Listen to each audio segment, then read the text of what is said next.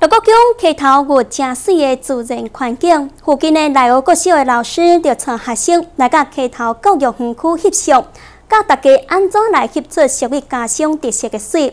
当中也有真侪罕你看到的特殊生态景观。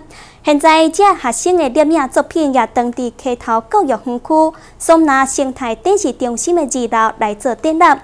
展览时间到五月十二号，乡亲若是有前往溪头佚佗，会当做过来欣赏小朋友的作品。拍就对。对对对。所以我就说，民众若看到作品，若讨论到相片当中真罕的看到特殊生态景观，而且佫看到边仔的介绍，是来学国小学生的作品，小参观展览的人拢感觉真厉害。看完的感想呢？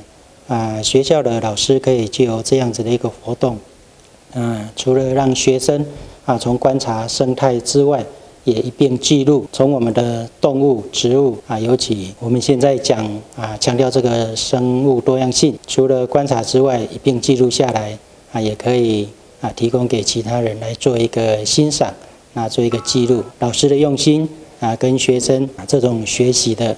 精神啊是非常好的。咱今所看到一百个一百作品，拢是由六个乡来学国小的老师，带着学生来甲溪头翕相，教因来如何翕出家乡的特色之美，并将新品展现伫溪头教育园区松拿生态展示中心的二楼。透过一个内湖国小的洪家宏老师哦，特别指导他的学生哦，借用他的一些机器设备来拍摄出这一些的画面。那这个画面呢，也相当的难得。如果是以小朋友的话呢，有这些的作品呈现呢，呃，跟大人的话应该也差差不多的等级的，拍起来的相当的清晰，相当的可取。